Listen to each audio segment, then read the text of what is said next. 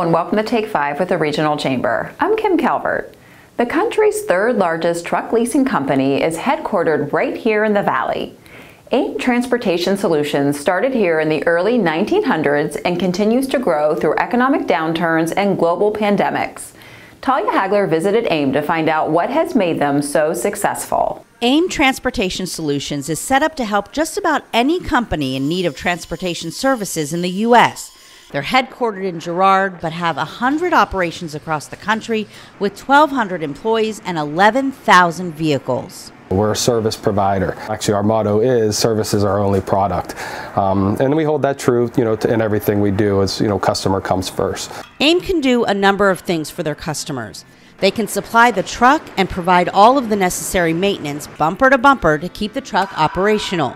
Or they can provide the full service of transportation which includes the truck, the driver, and the logistics to move whatever the company needs from one location to the next.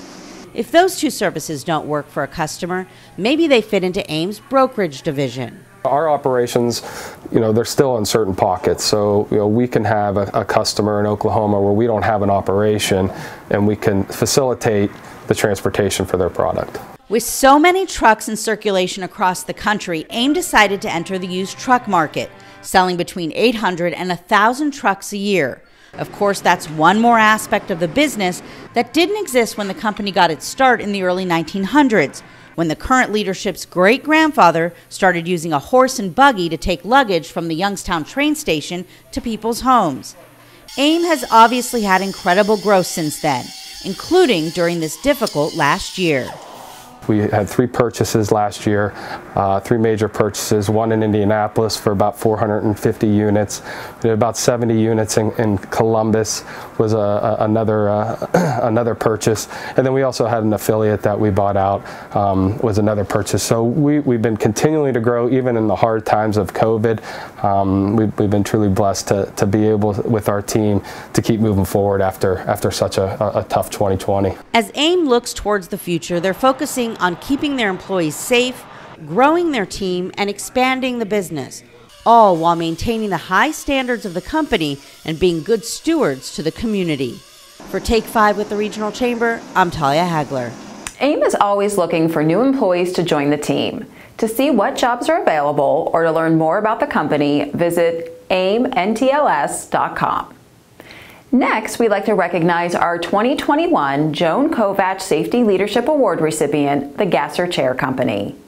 Gasser has excelled at developing a company-wide safety culture that has been a top priority since the company was founded 75 years ago. Claudia Kovach presented the award, which is named in honor of her mother.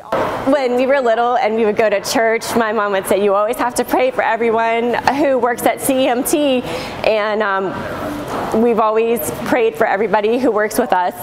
And uh, my mom always wanted to send everybody home with 10 fingers, 10 toes, two eyes, you know, everything that they came to work with. So safety was always very important to her. We've always had a safety culture here at the company back when the company started. When I was working with the company literally in a barn in high school, my uncle was just adamant about safety and, uh, and so it's a culture we grew up with. It just seems normal. It seems the right thing to do. And so we continue with that today. Uh, we have many different facets of manufacturing and each one of them has their own safety concerns and we pay particular attention to each one before we put a machine or a process into the operation. Gasser Chair is celebrating its 75th anniversary this year. President Mark Gasser says the Joan Kovach Award is something they've always hoped to receive, so this is a huge milestone in their safety program. Gasser will be featured in our upcoming Mahoning Valley Safety Council webinar on April 7th, and we'll be discussing their safety culture. Go to our website, regionalchamber.com, for more information. We hope you enjoyed this edition of Take 5, and we'll see you again in a couple of weeks. With the Regional Chamber, I'm Kim Calvert. Take 5 with the Regional Chamber is produced by Mahoning Valley Productions, where we tell your stories.